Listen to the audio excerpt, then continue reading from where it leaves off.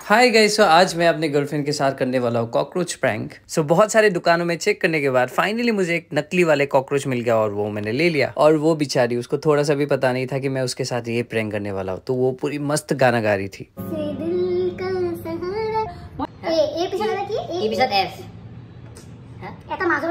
और उसको अभी बीच में पता नहीं कौन सा जोश आ गया कि उसको अभी सीखना था गिटार। तो मैंने उसको थोड़ा सा गिटार भी सिखा लिया।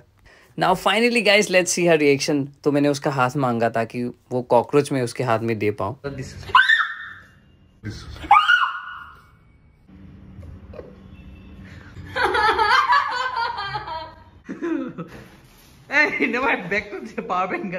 और गाइज़ उसके बाद मुझे मनाने में सच्ची में बहुत टाइम लगा लेकिन जैसे जैसे मैंने उसको मना लिया। तो कमेंट सेक्शन में बताना कि कैसा लगा आपको ये वीडियो सो मिलते हैं आप लोगों से हमारी नेक्स्ट वीडियो में।